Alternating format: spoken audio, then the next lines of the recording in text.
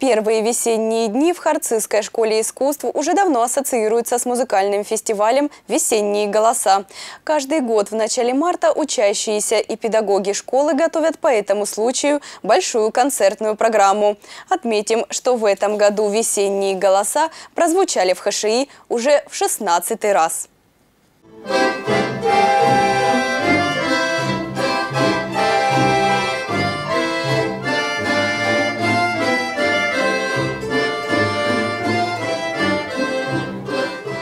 Весенние голоса – ежегодный отчетный концерт, подготовка к которому начинается фактически с начала учебного года. Именно на мартовском фестивале юные музыканты демонстрируют все то, чему они научились за месяцы упорной, надо верить, и терпеливой учебы в школе. Это своеобразный итог. Мы подводим, хотя многие говорят, а, что так рано подводите итог, еще целая четверть впереди. Но дело в том, что в апреле начинаются в основном конкурсы все, и э, проводить такие большие мероприятия у нас уже нет времени. И это раз. Во-вторых, уже ребята показывают готовность к конкурсам. Стандартная двухчасовая концертная программа – это не про Харцизскую школу искусств. Концерты в ХШИ обычно длятся минимум часа четыре, а то и полный учебный день.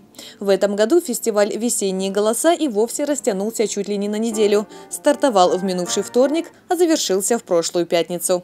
Всю неделю шли э, концерты, э, показывал каждый отдел свое искусство.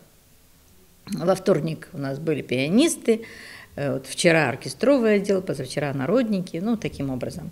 А сегодня заключительный концерт, когда э, все лучшее, э, все лучшие представители своих отделов, то есть большие коллективы, из больших коллективов сегодня оркестр народных инструментов. Мы им очень гордимся, потому что их мало в республике. Духовой наш оркестр, хор большой, коллективы, солисты.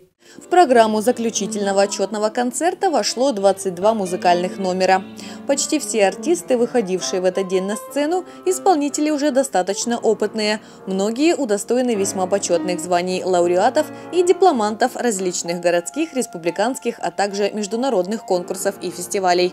Директор ХШИ Светлана Ларина особо горда наличием в школе оркестра народных инструментов. На итоговом концерте большой коллектив музыкантов-инструменталистов выступал первым, исполнив шедевр Андрея Петрова «Вальс» из кинофильма «Берегись автомобиля».